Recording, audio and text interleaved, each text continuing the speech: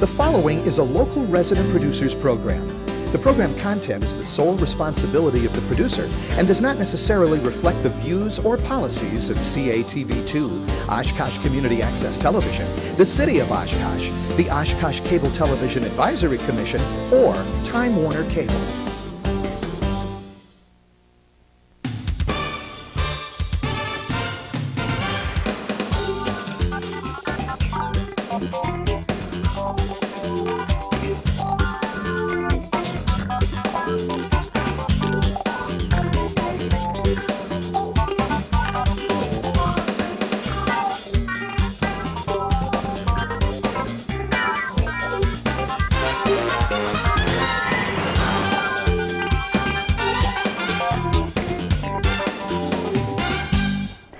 Everyone, welcome to another edition of Eye Oshkosh. I'm Cheryl Hentz along with former Oshkosh Mayor and City Councilwoman Melanie Bloechl. Believe it or not, campaign season is upon us once again, this time for fall races and elections. And um, our guest this evening is Luann Bird. Luann is seeking the Democratic, uh, she's running as a Democrat. She's seeking the seat in the 53rd Assembly District, hoping to unseat Carol Owens. Um, Luann, however, is going to be facing a September primary because she's running as a Democrat. There is another Democratic challenger, Stephen Dito, who is, is running and hoping to seat unseat Carol Owens as well. So there will be a primary before between these two. But uh, you're the guest this evening. You're on the hot seat. Thank you. Thank you very Thank much for being Thank here, you. Luann. It's a pleasure. Um, you know, one of the things um, that we want to talk about is is why you're running. But just a little bit that I know about you. Uh, you served on the Oshkosh School Board for six years. Um, Yes, I did. I think two of those you were president. President, right? Um, you've also served um, as president of the Oshkosh League of Women Voters, Right. and you worked in Madison for the league. Did right, you not? right. This past year I took a job as executive director for the league. Okay. Oh, so Okay. I was half a block from the Capitol on State Street. well, that must have been exciting. It was. And you've also worked as an education consultant in your in your own I business. still do some still do, okay. consulting for school boards. Oddly enough, the governance restructuring we did back when, when Ron Lampe, when I first got on the board, is becoming a model that many districts around the state are adopting. And so every once in a while I'll get a call for, for that kind of thing. Well, you know, obviously, I just gave a very brief synopsis. Why don't you tell Right. viewers a little bit more about who Luann Bird is and why she's running for the 53rd Assembly District? I'm happy to do that. Well, just to add a couple of things to what you've already said, prior to my school board, we needed sewer in my neighborhood, so I'd offered to stuff some envelopes and ended up getting on the commission and spearheading the installation of sewer in our neighborhood. So that was probably the first big project that I took on. Um, prior to that, I was, you know, looking for Mr. Right and wanted to be married and a mom, and that's what I what I was. Um, however, when my husband was in a construction in accident, he was paralyzed. And when my kids started school, my daughter was in kindergarten, our oldest child, when he had his accident. And we started running into problems with handicap access immediately. So it took me about four years to figure out that there was a school board and that we had rights. And at that point, I joined the League of Women Voters, approached the school board and asked them to form the Americans with Disabilities Act Committee, and then ran for the school board, was elected, and so that's what sort of started my advocacy for people with disabilities. Then also during that time, uh, it, it appeared my husband wasn't going to go back to work, so I was going to be the sole provider for the family. So I did manage to, to work on my education during that time and got an associate degree in quality management from Fox Valley Technical College and then transferred to Alverno College in Milwaukee where I um, got, a, got a Bachelor of Arts degree in Community Leadership and Development, which was a fairly new field at that time, looking at studying communities, neighborhoods, those kinds of issues, which was right, exactly what I was interested in. So that gives you a little more background. Okay. Um, the area that the 53rd Assembly District covers, what exactly is, I know Oshkosh is a part of it, uh, town Right. of Algoma, town of Nipusk, I don't even know how to pronounce it, but it's in your district, so you can tell us. skin. Um, What, what, ar- what area does your district cover? Well, I'm in the town of Oshkosh, which is the northern tip of the district. In fact, in 2000, prior to that, I was in, in the um, Terri McCormick's district. So that when they redrew the lines, I looked at the district and realized that now I'm in Carol Owens district, and it wraps around Oshkosh, then it wraps around Fond du Lac, all the towns around, with the exception of uh, Friendship and Eldorado, in the middle there. Um, so it picks up, and it catches Omro and it catches Waupun, the cities of Omro and Waupun. It actually has 15 towns. So it's a very rural area. And the interesting thing about the district is I am from Oakfield. I grew up Oh, on a farm in Oakfield. And my husband, Phil, is from the town of Byron. So we really have roots. I'm the only candidate, really, who has roots in the entire district. And then Phil's family is very active in the Fond du Lac area. So. Okay. Wow. So I was happy to see them redraw those lines. I felt, well, someday maybe I'll run. You know, this is looking Yeah. pretty good for me. So. Well, just a couple things right off the bat. Um, y- you're running as a Democrat, um, as is Steve Dito, as I mentioned in the open. So obviously, there's going to be a September primary, and you're both trying to unseat Carol Owens. Right. Um, you know, but for the immediate term anyway, obviously, you're going to be focusing on each other. Right. Um, what are some of the main differences between you and Mr. Dito? Why don't we start well, there? Um, I just have a, a little broader base of experience, I would say. I've got education in my background, I've got local government, a lot more of that kind of experience in my background, and I've made a difference in the areas that I've taken on. So it wasn't, it actually wasn't so much I was running against Steve. I was, I really took a look at Carol Owens. I took a look at her record, and I just decided we needed a stronger voice in that area. And then I did do a little bit of research on Steve, and just really felt that I was a stronger candidate, and that's why I threw my hat in the ring. Okay. Well, speaking of Steve, um, now he had sent out a press release um, just the other day, and I'm sure that you, I don't know, did you see it? Yes, I Okay. did. Um, it's very short for the benefit of the audience um, who may not be aware of it. Um, I'll just read it. It says Stephen Dito, Democratic candidate for the 53rd State Assembly District, today, um, and this was uh, the 7th of June, responded to the announcement that Luann Bird was entering the race in the 53rd Assembly District by issuing the following statement, quote, it's a free country. A person can run as a candidate for any party they want to. In 2000, Luann Bird ran as a Republican against Terri McCormick in the 56th district. Perhaps she feels she will have more luck in 2004 running as a Democrat in the 53rd district. I'm sure that my Republican opponents will be delighted by her announcement that a moderate Democrat is now in the contest. And then it goes on to talk about that he's going to remain a Democrat. He's always been a Democrat. I guess fair question. Absolutely. Um, Absolutely. You, ran back in 2000 Right. as a Republican, right. and you've already explained how you, you know, are no longer in Terri McCormick's district because of the lines being redrawn. But why the switch from Republican to Democrat?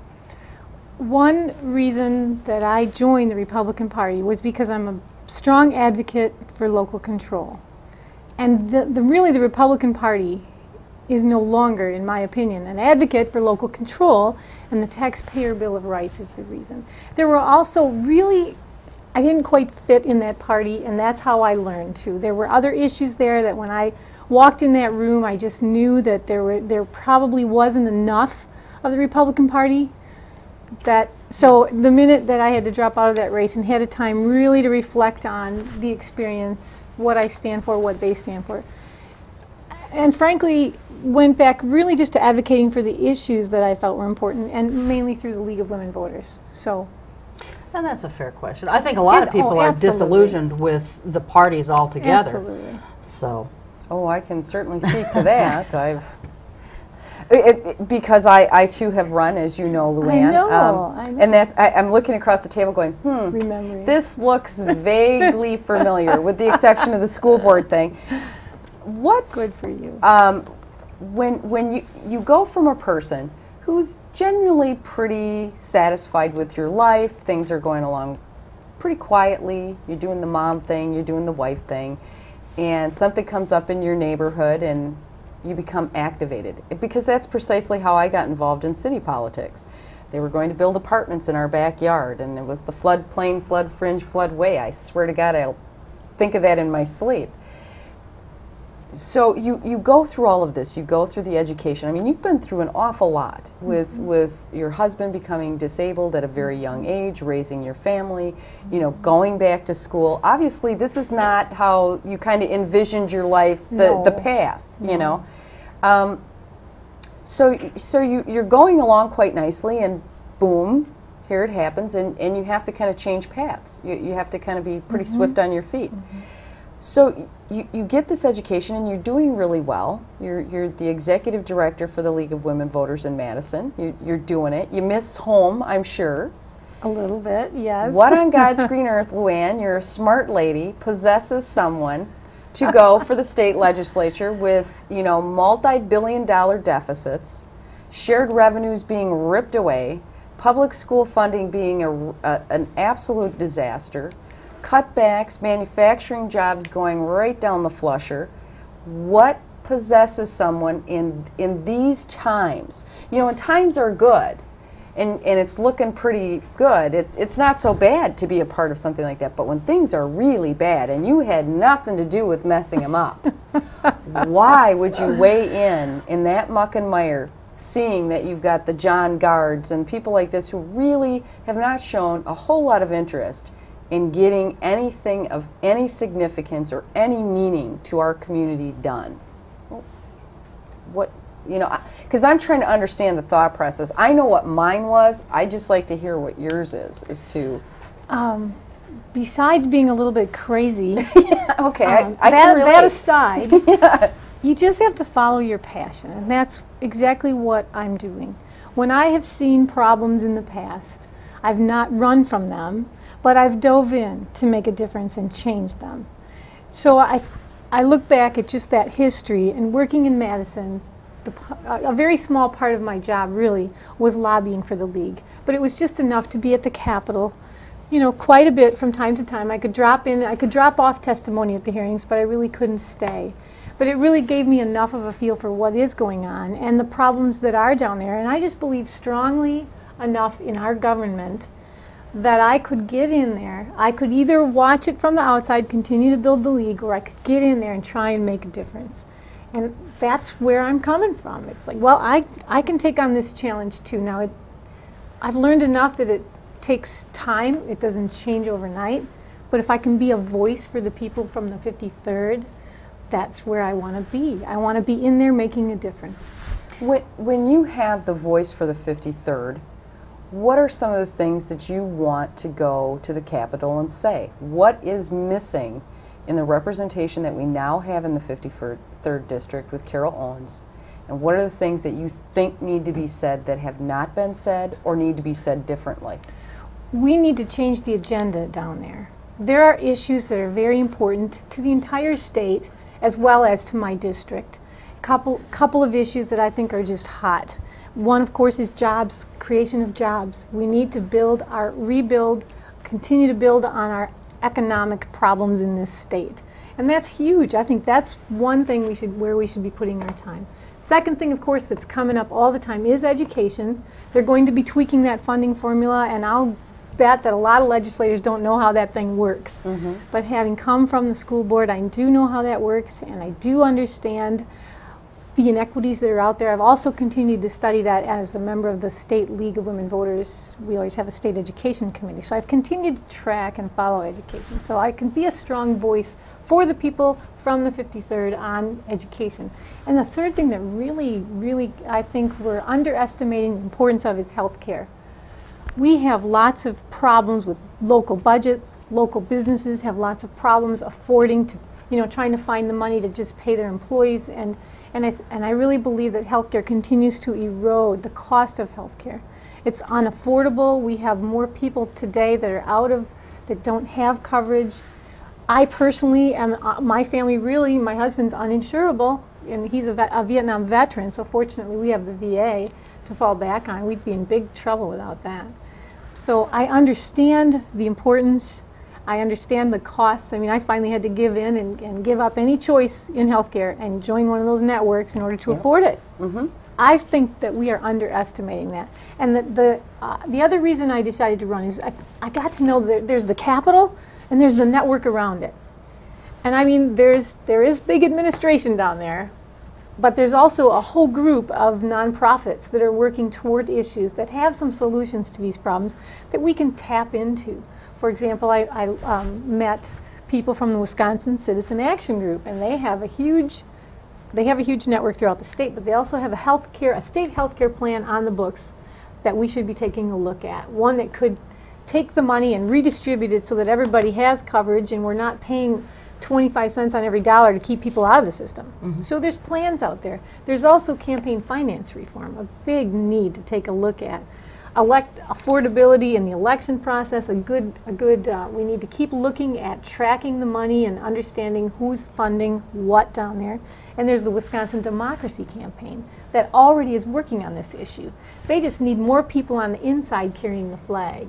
So I would want to work with Mike Ellis on that. I know the leadership in the Senate that fell apart last year because of the bipartisan fights that come up. But I want to get back in there and say, no, come on, we can work together on the issues that are important to the people of Wisconsin. And that we keep talking about, not all this peripheral stuff like gay marriage mm, and, right. you know, should we be packing heat at the hospital, you know, the concealed weapons laws, those kinds of things. That, I mean, we're getting so bogged down with these things and we mm-hmm. have really serious issues mm-hmm. that seem to be getting and, and every year every session we hear the same thing over and over mm-hmm. Well we got it this far but we couldn't get it all the way. So we'll bring that up again next session.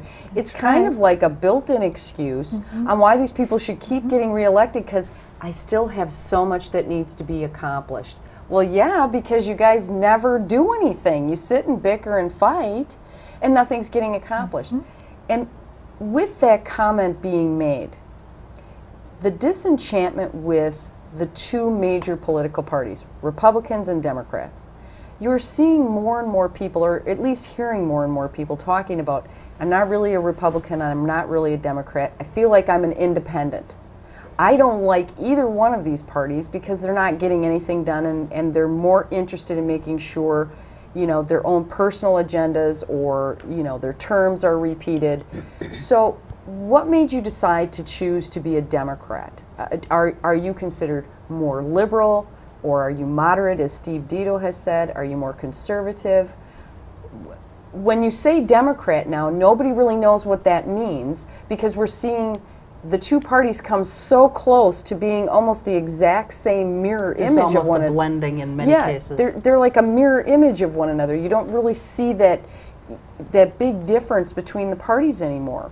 Um, and I so when you say Democrat and you say Republican, I don't know that people are really understanding what that means. Well, I'm having a hard time getting an answer from my Republican friends that are, are um, when I ask them what is happening to the party, why is it no longer advocating for local control? And I'm not hearing even a lot of Republicans that are supporting that agenda. Probably the bigger question is who is controlling the agenda?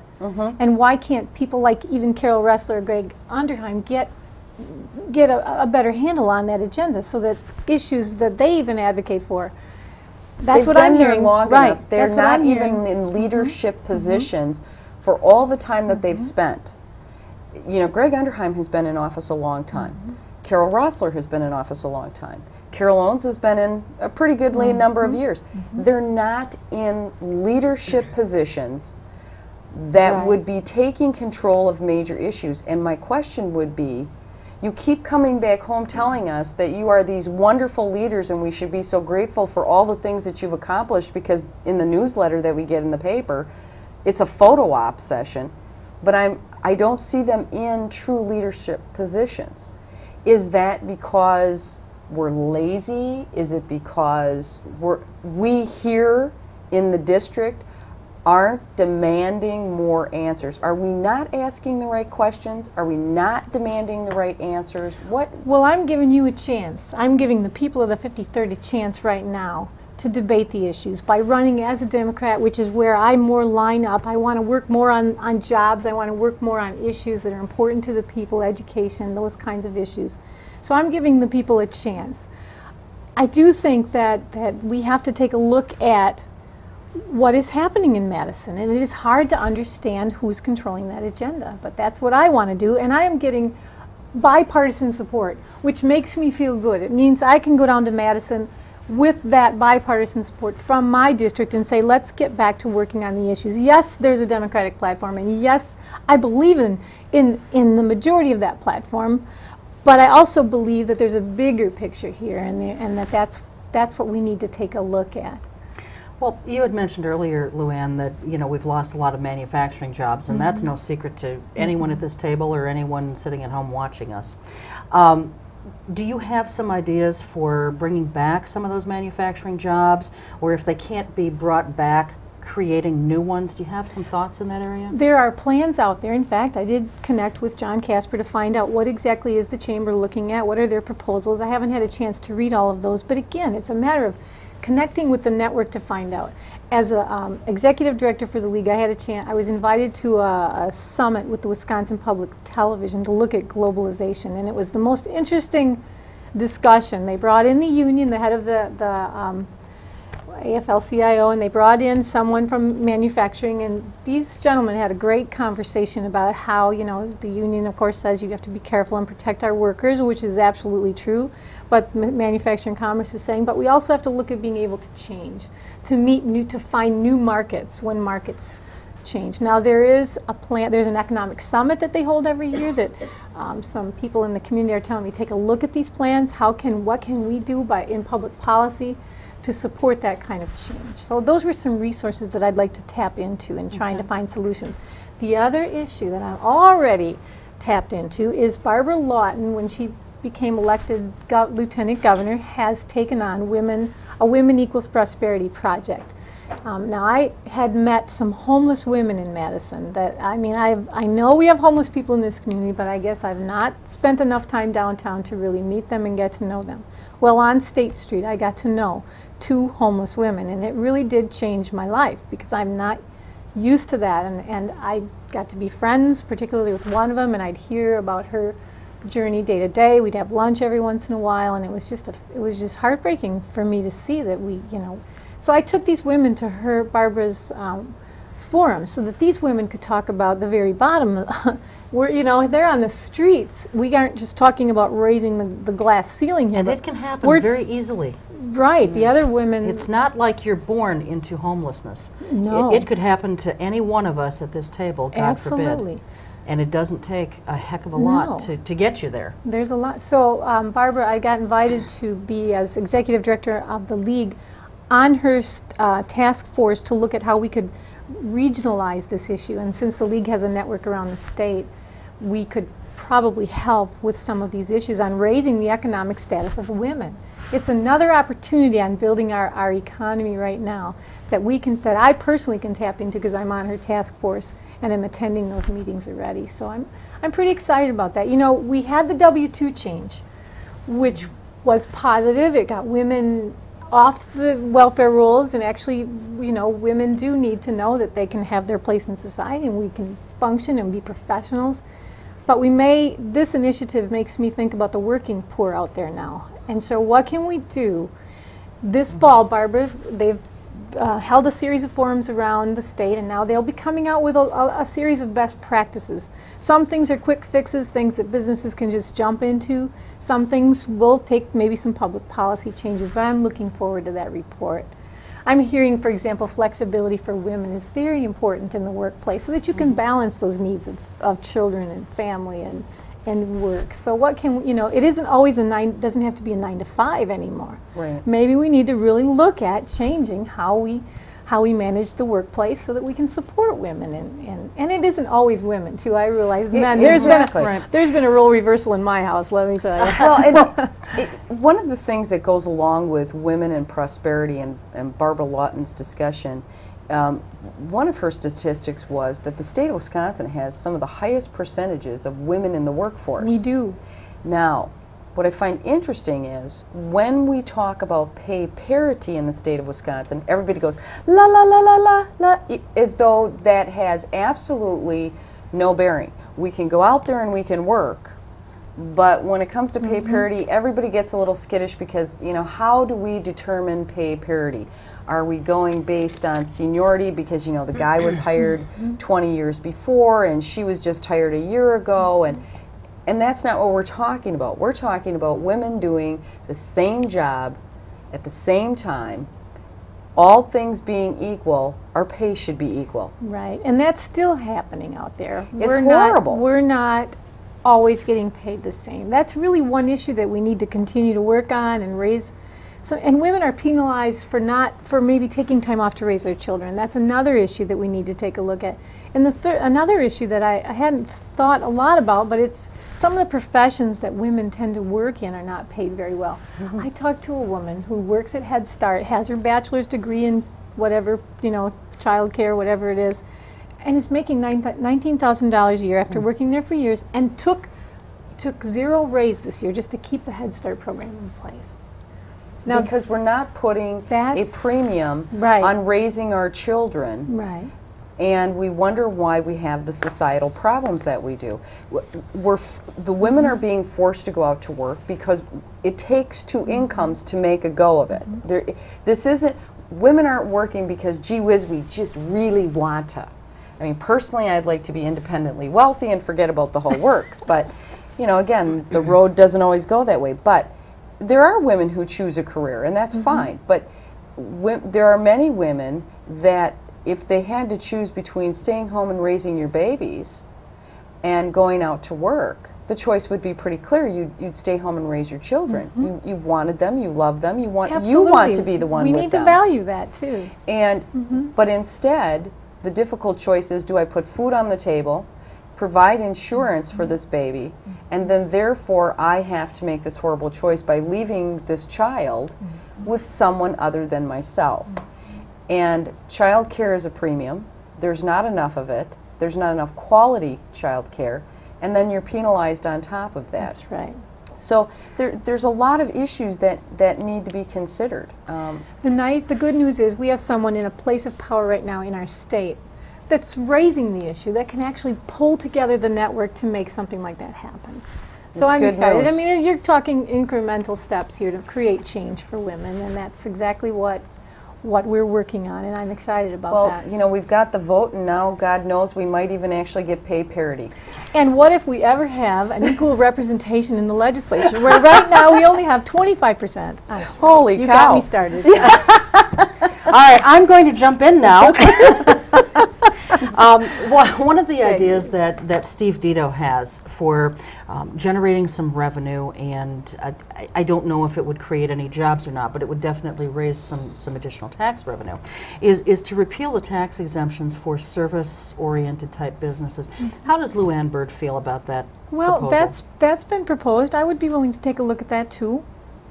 I think we, um, on the revenue side, on the income side of things, that would certainly be worth looking at. They're also talking about raising the sales tax by one one or two percent, possibly to trade off um, your high cost property taxes for education. I think all of these initiatives do need to be studied and looked at. Clearly, we have to make some changes and we have to prioritize what's important in our society.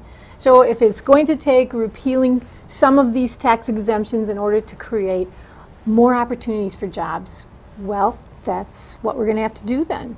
I always want to do that, though, in the context of having good data in making these decisions, mm-hmm. in knowing exactly as a legislator, this is the research we've done to know that this is the market that we think that that will affect, and these people over here are willing to pay the price, or you know they might come along grudgingly, but we, I think, when we create legislation, that legislators need to be much more accountable with what we're doing and why.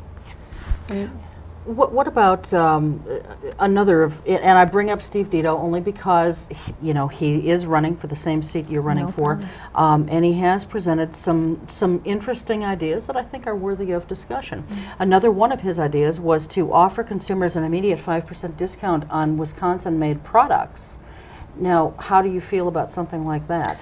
I would have to look closer at that. I don't know what his theory is behind that. I don't know how that benefits people. I think, well, I I, would think need to when know he was here, it was it was to generate more business for Wisconsin businesses and then as a result of that creating more jobs getting people to buy more wisconsin made products rather than products made overseas or in another state basically you know buy wisconsin just like the buy american promotion that went on for a Yeah, number I of don't years know. I honestly don't want to make uh, uh, take a position on that. I'd have to really do a little more research on that, on how that uh, how that affects our neighboring states. What is the kind of trade balance that happens in Wisconsin? I really don't know. Sure. Um, Carol Owens, the current uh, representative, um, has not seemed to show much cooperation in, in working with local governments. And, um, you know, you mentioned uh, earlier that there are 15 townships, not to mention the cities that are Yes. included, uh, part of Oshkosh being one. Um, she's not shown a whole lot of cooperation in working with these local governments, and yet she has no trouble um, you know, ripping their shared revenues away or voting to help rip those shared revenues away. Um, she does not maintain contact, evidently, with, with local lawmakers to find what issues they're up against.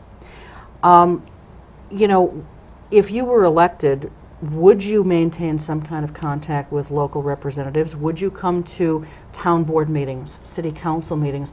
Would you be somewhat, um, I don't want to say participatory in their budget hearings, because you couldn't be, but would you at least attend their budget hearings, just as many as you could? Because I realize, you know, you'd be running all 15 over the place, I you know. know. But I know. but would you? I guess my question, LuAnn, is: Would you make a concerted effort to be as involved and in touch with your local constituency as you can to see what those local governments are up against? There's two things that I did for the League of Women Voters that are, are tools that I need to use as a legislator.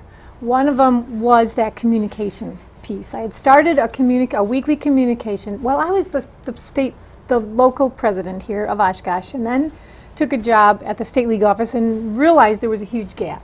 So I immediately started to work on that communication, and it was it was great. I started sending out these weekly uh, email updates, and people started understanding what the state league office does. Not only that, I could tell them some inspirational story and remind them of what our mission is and what we're here to do. And, and uh, membership was up this year by over 4% when nationally it went down.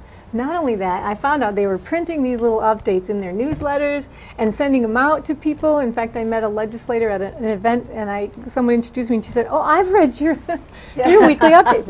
But it was it was exactly what I will do for the people in the 53rd is use my email. I'm using it in the campaign already, just weekly letting them know what's going on and where we're at because there's exciting things that happen on the campaign trail. And having coming from that league background of understanding our democracy and how important how important it is to have informed educated citizens this is an, this is an exciting and it's a natural thing to me to do and I'll do it for the people in the 53rd accountability is, is so important and I think communication is one way to continue to be accountable. Mm-hmm.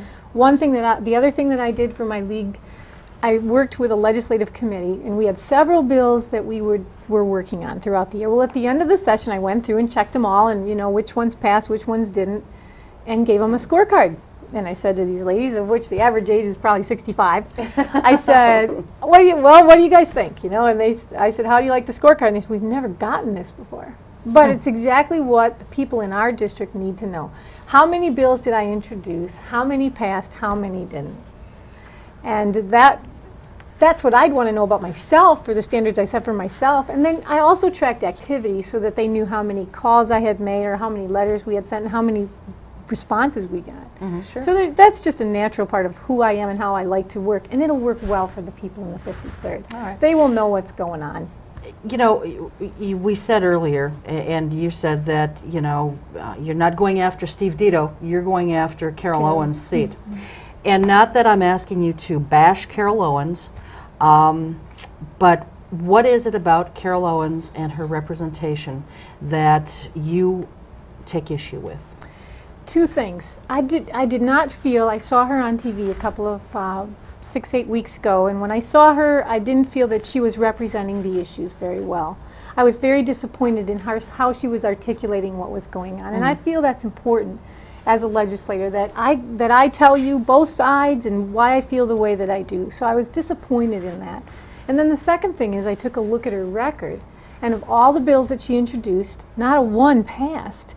So we don't have a voice for the people. And even if she comes up with a good idea, she isn't able to get it through. In her newsletter, it said, you know, it, even on that show, she said it got too late and we just ran out of time. Well, you know, You know bird, what the session is. the bird She's squeaks. been at it long you enough. She's been I, at it 12 I, years. I just feel that that's right. That we need a voice, someone that can get something done. So it, it- Carol's a nice lady, and, and people like her. That's not the issue. The issue is that in these tough times, we need a strong voice. We need someone who can make something happen and make a difference in Madison. I've got a strong record of being of doing that. So I'm confident that when I get down there, and it is helpful having worked down there all year. At least I know the people on both sides of the aisle. I actually worked on Carol Roessler's campaign years ago, so you know Carol's a friend of mine, and they know that I'm not um, not going to be out to bash or you know just let's work together on these issues. And of course, we'll probably differ on what the agenda should be, but I'm willing to jump in there and try. LuAnn, one of the things that you got knocked for when you were on the school board was CQI.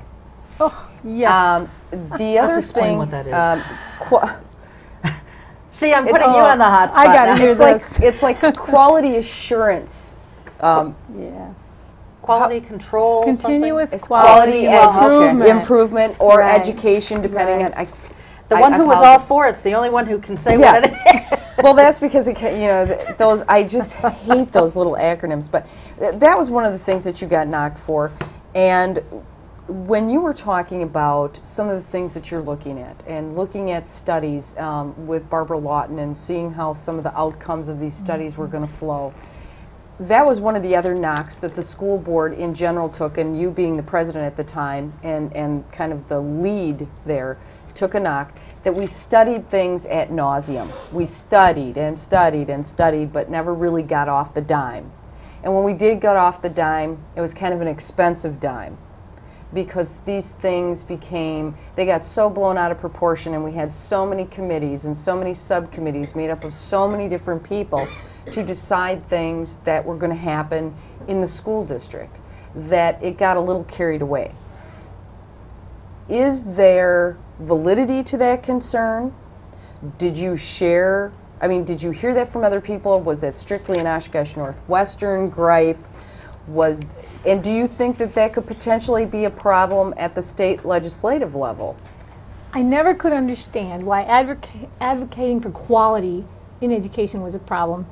But it, it really broke down to um, process, and it was really a shift as an elected official to start delegating some of the decisions down to lower levels. That really, over to, you know, looking back and, and reflecting on what worked and what didn't, there, there definitely were some downsides to what we tried, and definitely some of the committees got too big, and sometimes it took too long. And those were valid criticisms. I think the stronger criticism, looking back, was what are we getting for this investment? Mm-hmm. And I don't think we were clear enough. I had a vision for how that could work. I could see it in the classroom, and it's still in process. I will still say that children can take responsibility in the classroom for their learning, and it can work very well. Um, but when it came to the bigger systemic kinds of issues, it was it was harder to say what are we getting for this investment. there's no tangibles associated with the financials Well, we don't have agreement necessarily on how to measure effective education. We have test scores, that is one measure. And I'll never forget when we jumped up 9% on our third grade reading test scores when the state was only jumping about, they, everybody jumped, but it was twice what the state did. So I could find some indicators that I felt were were worth investing in, but it needed to be evaluated, and that's what the public's questioning of that was good. And, and it did make us really step back and think about it. But we had a lot of business support for doing that. We really, the business community was saying, you know, you need to look at strategic planning. And those components of that, what we started back then, are still in place. They're getting better at it. Now they're, they're having data retreats, which is what the public wants to know. What are we getting for our money? So I think the school district is getting better at, at monitoring and measuring those kinds of pieces. And they're still working on strategic planning and, and trying to make sure that, that the board holds the system accountable for what they say they're going to do. So there were pieces of, of what you might call CQI that really we needed to hone in on and, and, and pieces of it that we should have learned from and moved on. With, Really. with education being a huge part of your background because you have spent so much time within the school system and being a student yourself, um, one of the things that we talk about a lot, or certainly legislators are talking about, and manufacturing is talking about, is the disparity between quality and competent workers qualified to do the next generation's work. Um, we have been told over and over again that we are going to be doing away with manufacturing jobs and we are going to be moving into a new era. My question is, what exactly is the new era? Because nobody seems to know exactly what that is. We are, you know, outsourcing jobs. Um, the jobs that we're bringing in to replace them are service sector jobs, which are mm-hmm. historically low paying, no benefits, and don't have that trickle effect that mm-hmm. manufacturing jobs had. Mm-hmm. For every manufacturing jobs, it created three service jobs. So you eliminate the manufacturing jobs and you only replace them with service or retail jobs, the trickle effect kind of peters out at some point. So if we are preparing for the new era, first, what is the new era? What, what can Wisconsin look forward to as far as what are we going to hang our hat on? Because I don't think it's going to be cheese. Um, and what are we doing in education to prepare the next generation to be qualified workers and, and competent workers and well educated workers to be able to support the system in the new era? First, I want to say that you've hit the nail on the head for where we need to concentrate in order to prepare our workers on our education system. It is very, very important to the future of our state and to the future of our country. Continuing to work on education and improve and tweak it and make sure that students are prepared not only when they come out of high school to go into the colleges, but I'm also going to be responsible for those colleges too, Right. and the technical systems and the, um, and the and the universities. And it's heartbreaking for me to see where we're cutting, where we're carving out the one area that may be what's needed the most. I want my children, when they graduate, and my daughter's a, uh, a freshman up at Lawrence this year, well, now she'll be a sophomore. I want her to be able to get a job in Wisconsin when she graduates, and I want her to be prepared for that job. So I would take a look again. I always felt that on the school board, we needed to, and Oshkosh, I'm proud of, put this in, started this when I was on the board and put this in place. A graduate profile that says when they graduate, how are our students doing when they leave the system? And that's the kind of data that you take back and you tweak your system with. So definitely, I've spent a lot of time in education. I spent a lot of time in a very unique college that doesn't have grades, but expects everybody to achieve. I think one of the saddest things we do to kids is pass them on when they haven't learned. Now that becomes a huge social discussion about, oh, but socially they're not ready. Well, you know, but I, you guys, I was the one that sat there in the expulsion hearings and looked at all those report cards of all those kids, and 90% of them started failing in elementary. They all come in and they're doing pretty good those first couple years, but then they start failing and they, you see the trend. Maybe they get a few C's and D's in elementary, and by the time they get to middle school, you're talking D's and F's. And now by the time they get, how can you expect that student who comes in now? You're telling me that there's something in C's, D's, and F's that they didn't have to learn, and they can move on to the next level. I mean that that whole thing. We need to have. We need to continue to look at that model and mm-hmm. say, does that really work? That's where some of the standards that are coming into play are helping helping teachers to look at that, making sure that students are prepared, making sure that the that the curriculum it's seamless. And uh, then the next thing that I would continue to advocate for is the requirement that students learn before they, they move on. Now that's Well, a huge yeah. shift, you guys. You so- know, talking about kids, um, and I realize this is, you know, it, it hasn't gotten too far down in Madison, and there are several different components to it. But how do you feel about, well, first of all, do you know much about Governor Doyle's Kids First initiative? No, I don't. Okay. I don't Then I won't ask how you feel a whole lot, but I do like the idea of looking at our kids in Wisconsin and our what is happening to our children. I, you know, I found out there were 1,300 homeless children in Madison. I asked a school board member, how many of your students are homeless? I mean, that's, we do need to take a look at what's happening to those kids. That's absolutely sinful in the United States that we would that we can walk Right. the streets and see fellow Wisconsinites without anything, shelter, food, health care. Well, And we're busy worrying about concealed weapons laws and whether or not somebody should be able to talk on a cell phone in a moving vehicle. I want to go back just for a moment, if I could, because I want to clarify something uh, briefly, if I can, and maybe I didn't make myself clear, but when we're talking about education, I mm-hmm. understand what you're saying about making sure that the whole process is seamless. But when you start bringing together education and business, right. what is it that the business community is telling you as a new candidate that they need in order to bring whatever it is that they're going to bring into the state of Wisconsin? We've historically had manufacturing, lumber, paper. That's going away. What is it that they're saying that they're going to bring in? Because I'm presuming that they have an idea that they haven't quite shared with all of us.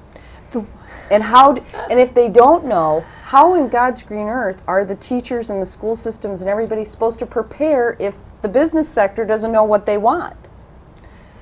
Well, good question. The one area that I've heard we could be bringing businesses into Wisconsin in is the technological mm-hmm. fields, the technology fields.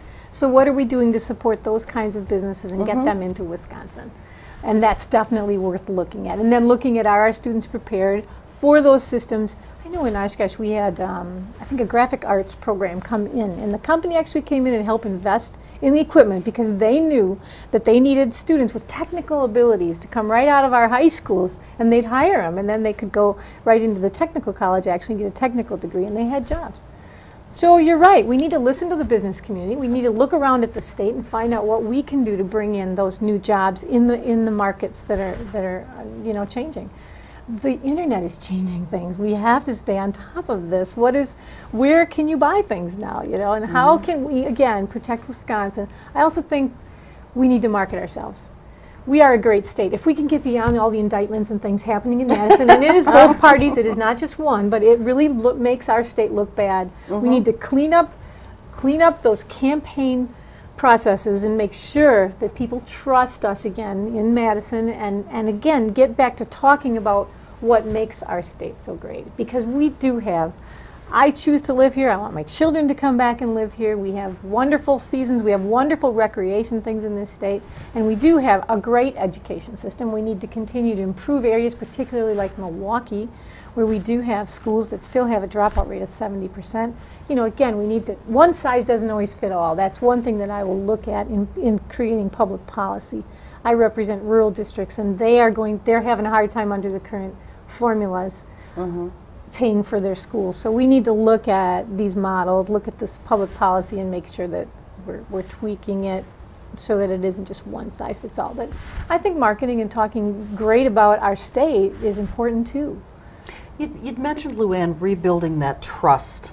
How do we go about doing that when people are are becoming so frustrated with elected officials? For one thing, I mean, look at all the I people know. who are entering the race.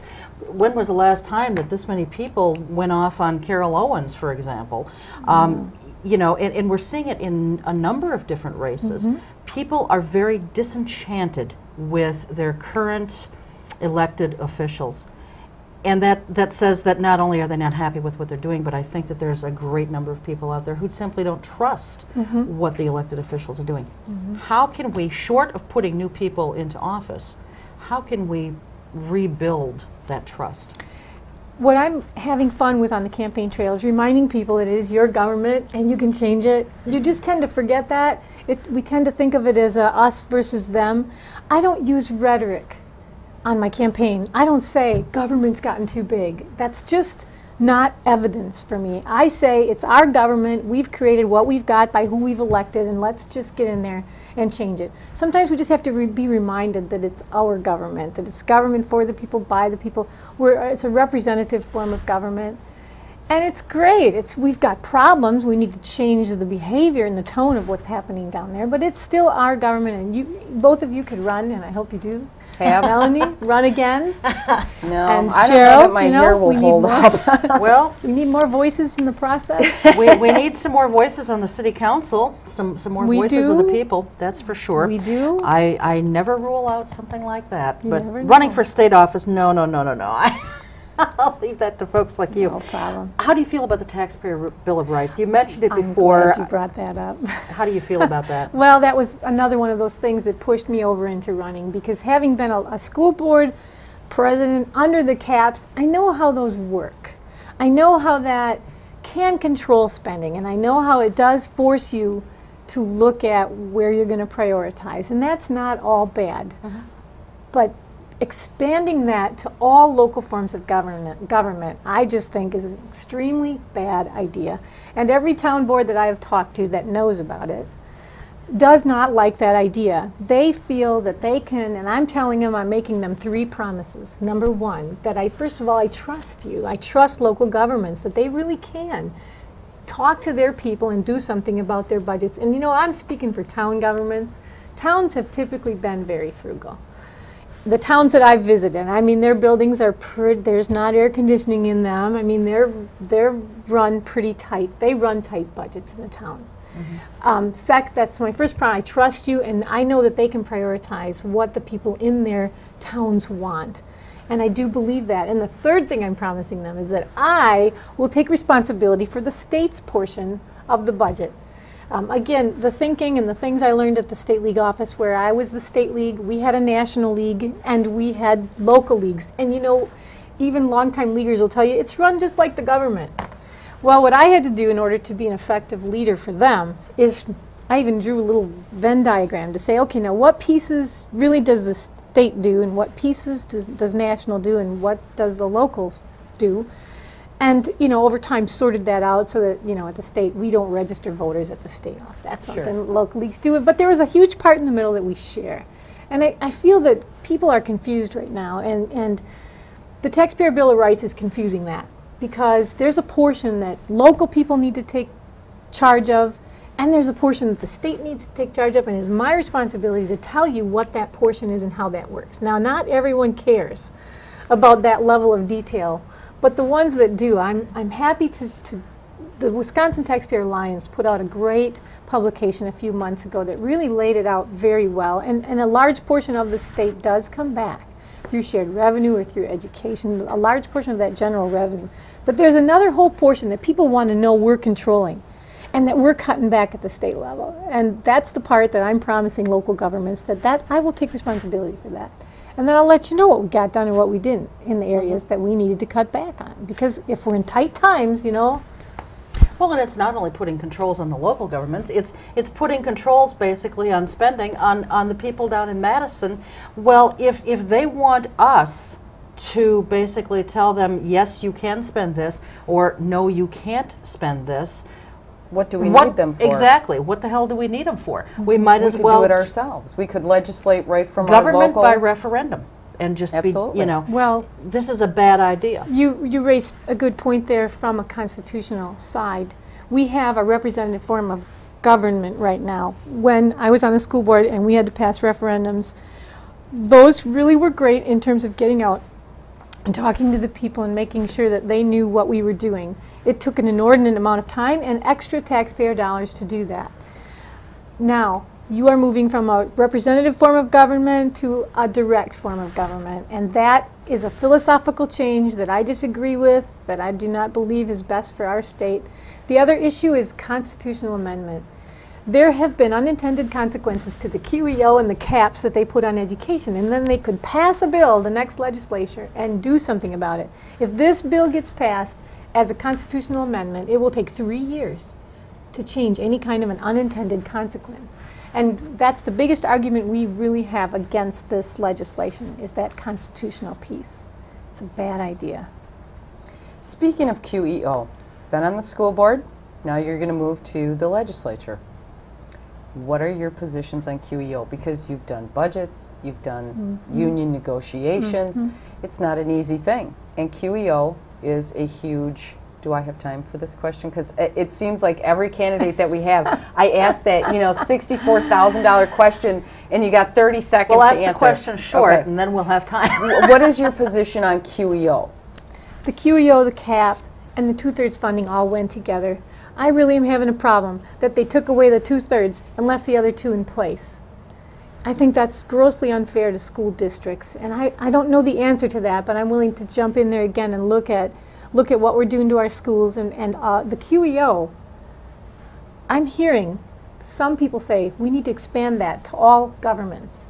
The problem I have with that is that it leaves the exorbitant costs of health care, the runaway costs of health care, in place and penalizes the worker as opposed to, I'd rather, well, we're going to tweak education. We know that's going to come up. But I'd rather really work on that healthcare piece so that we can get that under control as opposed to the salaries. Even businesses would like to have that under control. So Okay. that's my position on that.